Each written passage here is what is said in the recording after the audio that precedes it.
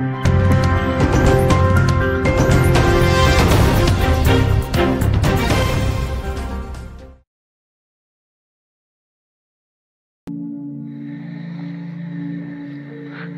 সংসারকে সুখময় করবেন, মনের মতো একজন স্বপ্নপুরুষ প্রতিটি নারীর অনাদিকালের বাসনা। কিন্তু প্রেম করেই হোক আর মা বাবা মায়ের পছন্দই হোক বিয়ের পর অধিকাংশ নারী অন্য এক পুরুষকে আবিষ্কার করে। এ পুরুষকে সে চেনে না। এমন পুরুষের কল্পনা সে কোনো দিনও করেনি।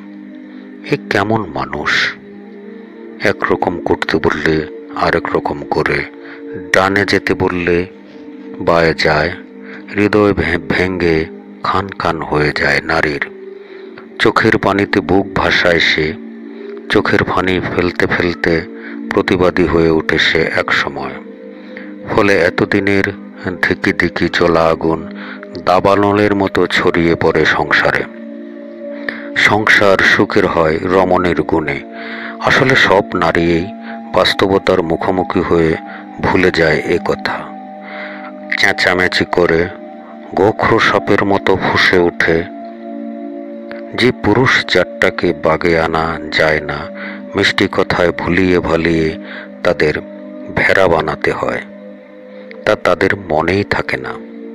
চিরন্তন এই সত্য ভুলে গিয়ে হিংস্র বাঘিনীর রূপ ধারণ করে তারা।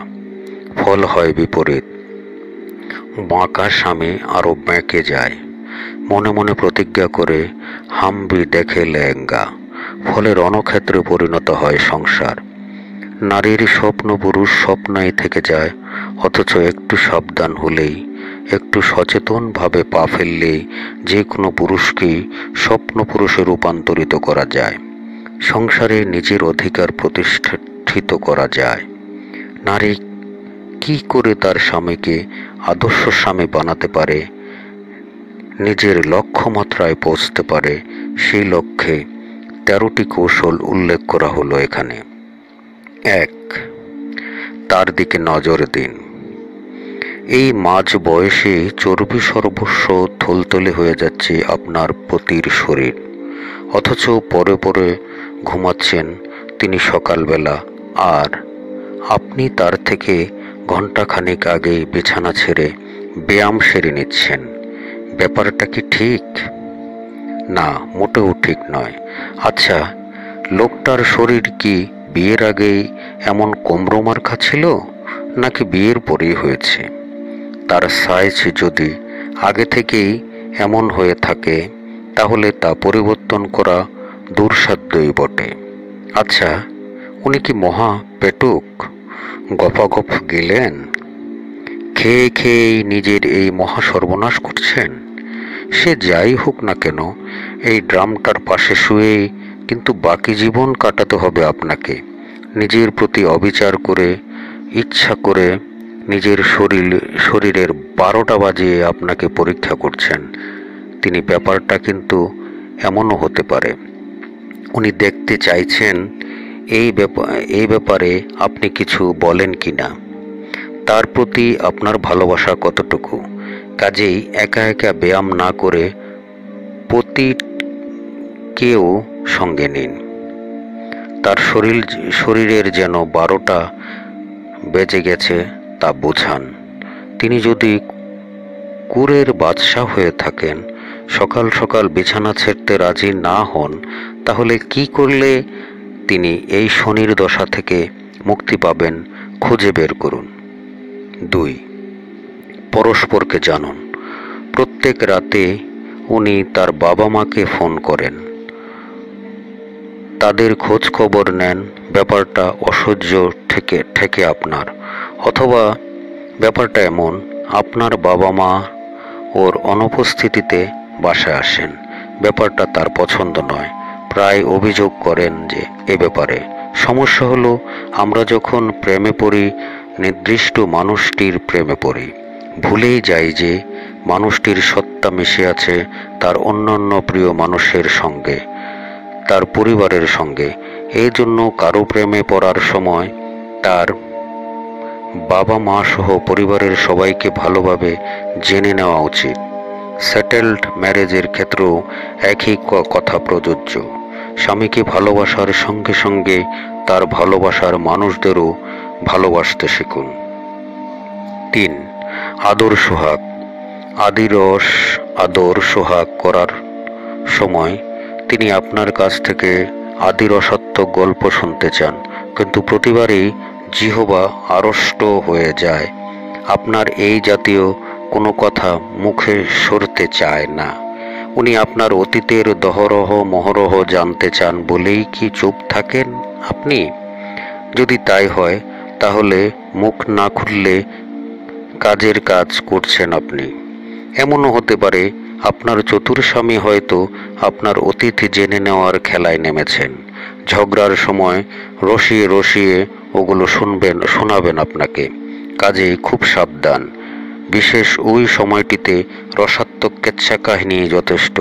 অতীত ঘাটাঘাটি করার দরকার নেই। একান্তই যদি ওই জাতীয় গল্প হাতরে না পান, তাহলে বইয়ের সাহায্য নিন। পড়ে বা মুখস্থ করে শোনান ফাজিল লোকটাকে। নাকি এইসব বলতে এখনও লজ্জা লাগে আপনার?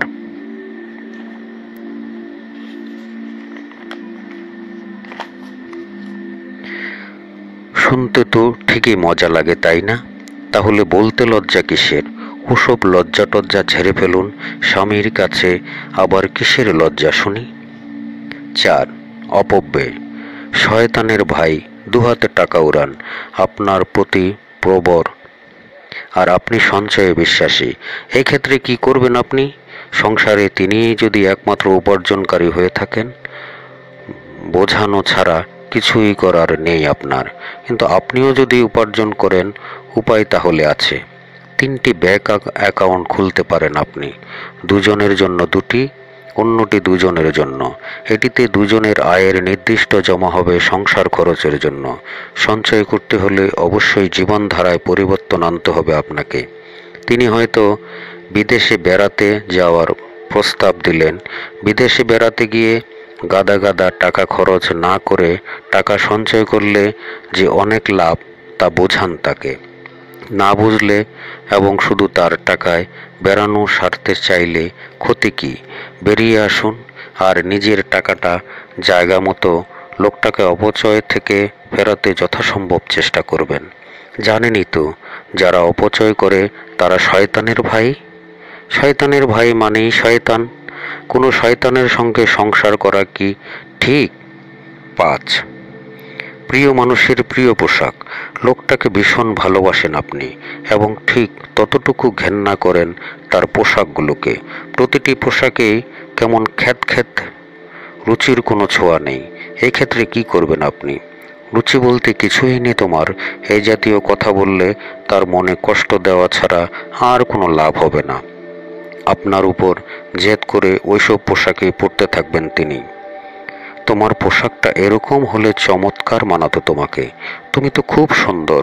তোমার সঙ্গে ম্যাচ করতে এভাবে একটু একটু করে গ্যাস দিতে শুরু করুন। তাড়াহুড়ো করবেন না। এই যুগেও যদি তিনি মানিক মিয়া অ্যাভিনিউর মতো চওড়া টাই পছন্দ করেন, তাহলে ওটাকেই প্রথম টার্গেট বানান। চমৎকার একটা টাই কিনে উপহার দিন তাকে। নিজ হাতে পরিয়ে দিয়ে বলুন, আহ, কি দারুণ লাগছে তোমাকে। এভাবে শার্ট, প্যান্ট, জুতো, যা যা রুচিসম্মত নয় কিনে উপহার দিন তাকে। তার কজন ঘনিষ্ঠ বন্ধুকে ম্যানেজ করুন, তাদের সমস্যার কথা খুলে বলুন। আপনার কিনে দেওয়া পোশাক পরা অবস্থায় তাকে কি দারুণ লাগছে বন্ধুদের এ কথা বলতে শিখিয়ে দিন। এইভাবে ধীরে ধীরে প্রিয় মানুষটির রুচি পাল্টে দিন। ছয়, সংগীত সমস্যা।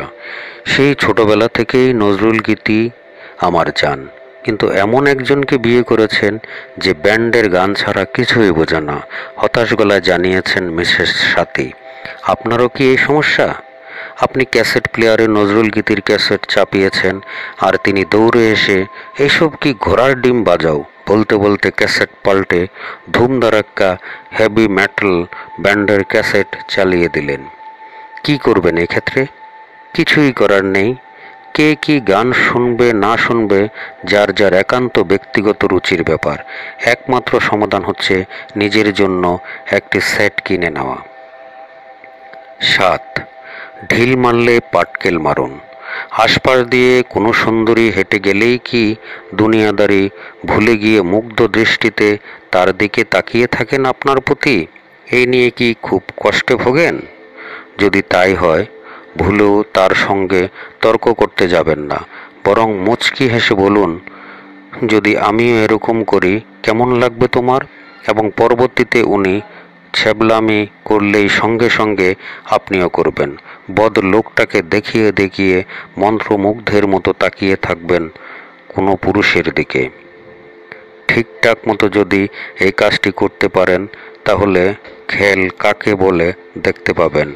ব্যাপারটা জাদুমন্ত্রের মতো কাজ, কাজে দেবে একেবারে। হ্যাঁ পুরুষ জাতটা আসলে এরকমই, মেয়ে দেখলে তাকাবেই। শত কাজ্যা ফ্যাসাদ করেও এই বদভ্যাস দূর করতে পারবেন না।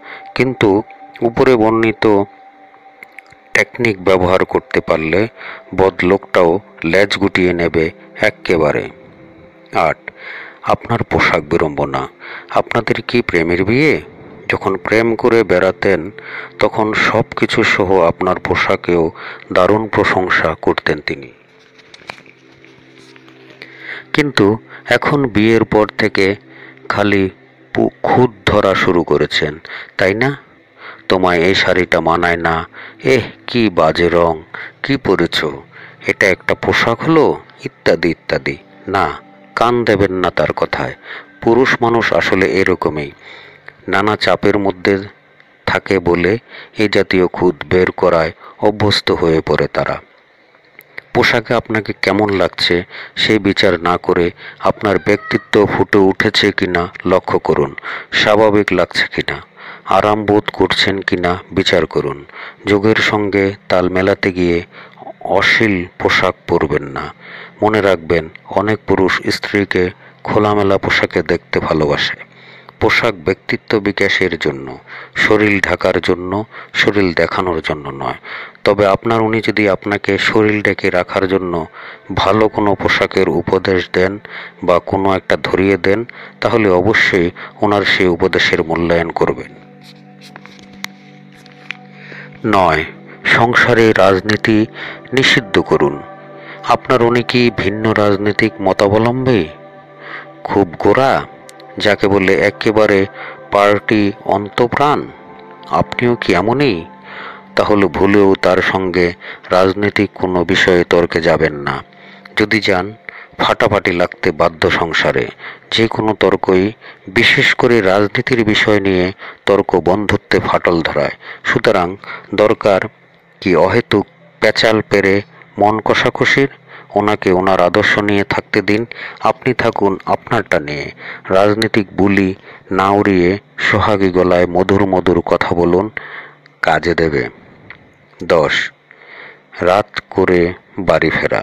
আপনার স্বাদের প্রতি কি খুব বেশি আড্ডাবাজ? প্রায় বন্ধুদের সঙ্গে আড্ডা মেরে অনেক রাত করে বাড়ি ফেরে? একসঙ্গে খাবেন বলে অপেক্ষা করতে করতে ক্লান্ত হয়ে ঘুমিয়ে পড়েন আপনি?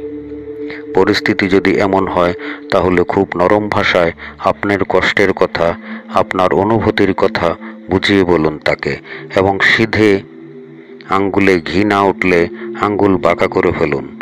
তাকে বলুন, উনি যদি এমন করতেই থাকেন, আপনিও বান্ধবীদের সঙ্গে আড্ডা মেরে গভীর রাতে বাড়ি ফিরবেন। ভয় দেখিয়েও কাজ না হলে সত্যি সত্যি দু একদিন এমনটি করুন, দেখবেন জাদু মন্ত্র কাকে বলে। ধূমপান, বনাম আদর্শ হাক বেশ আয়েস করে সিগারেট খান ভদ্র ভদ্রলোক, একটার পর একটা। কিন্তু ওদিকে ধোয়ার গন্ধে দম বন্ধ হয়ে আসে আপনার। ঘেন্নায় বমি করে দিতে ইচ্ছা করে। পুরুষ মানুষের এই নেশাটা এমন ভয়াবহ যে আপনার রাগা, রাগী। লাফালাফিতে কোনো কাজই হবে না। তাহলে কি করবেন আপনি? কিছুই কি করার নেই? নিশ্চয় আছে। ধূমপান যে স্বাস্থ্যের জন্য কত মারাত্মক সুন্দর করে গুছিয়ে স্মরণ করিয়ে দিতে থাকুন তাকে। চেষ্টা করুন তাকে ফেরাতে।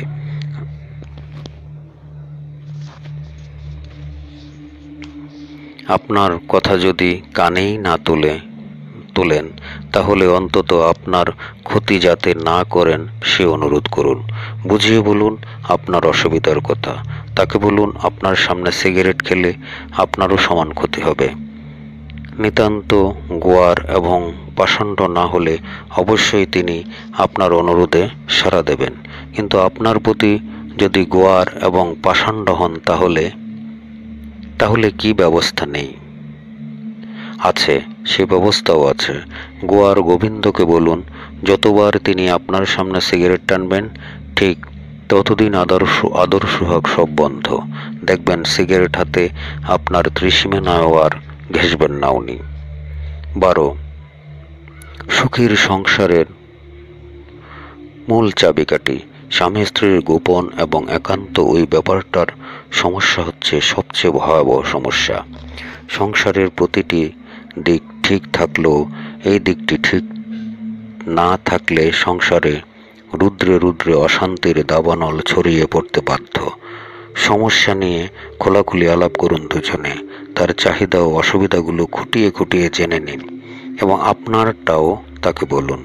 মনে রাখবেন, এ ব্যাপারে লজ্জা করলে কপালে অশান্তি ছাড়া আর কিছুই জুটবে না। সুখময় যৌন জীবন সুখের সংসারের মূল চাবিকাঠি। যৌন শিক্ষার উপরও ভালো ভালো বই পড়ুন। প্রয়োজনে বিশেষজ্ঞের পরামর্শ নিন। তেরো, স্বামী স্ত্রীর সেতু বন্ধন। অধিকাংশ পুরুষই বিয়ের প্রথম কয়েক বছর সন্তান নিতে চায় না। তাদের মতে, এতে স্ত্রীর কাছ থেকে সুখ আহরণের অসুবিধা হয়। বাচ্চার ফ্যান, ফেনানির জন্য স্ত্রী স্বামীকে সময় দিতে পারে না। কোথাও বেড়াতে যাওয়ার উপায় নেই। অন্তরঙ্গ মুহূর্তে অবুজ বাচ্চা বেরসিকের মতো ফ্যা করে কেঁদে উঠে, ইত্যাদি। আপনার ইচ্ছা যদি অন্যরকম হয়, খোলাখুলি আলাপ করুন তার সঙ্গে। তাকে বলুন, দুজনের ভালোবাসায় তীব্রতা থাকলে বাচ্চা কোনো সমস্যাই না। বরং দুজনেরই মাঝে ভালোবাসার সেতুবন্ধন হিসেবে কাজ করবে আপনাদের সোনামণি। তাছাড়া সময় মতো বাচ্চা নিলে তাকে মানুষ করাও সহজ হয়। যুক্তি দিয়ে আদরে গলায় চমৎকারভাবে বোঝান তাকে। তিনি তো আর মাসুম বাচ্চার মতো অবুস নন যে বুঝবেন না।